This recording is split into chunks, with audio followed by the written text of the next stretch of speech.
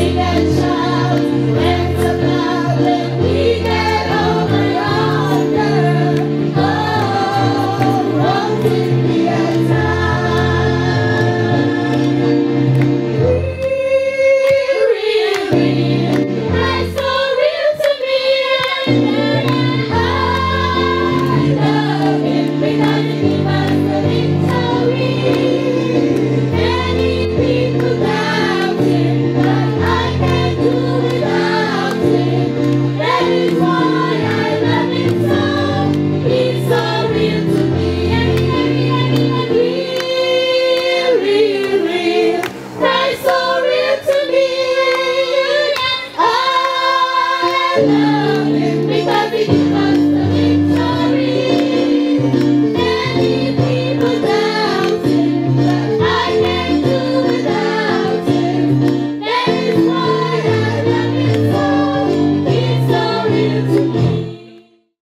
We thank you very much. We would just like you to know that we are living, we are dwelling in a grand and awful time. And as you look all around you, everything points to the fact that something big is about to happen. Some people are not sure what that is. The scientists are baffled. But we know, as people who study the Word of God, that we're nearer to the second coming of Jesus. Amen? And that's why we're here to remind you that God loves you, that He cares for you, and that it is His desire to take you into His glorious kingdom where there will be no more death, no more sorrow, and we live with peace and in happiness forevermore. So thank you for receiving us. This is our mission. Our mission is to remind you of Jesus' love.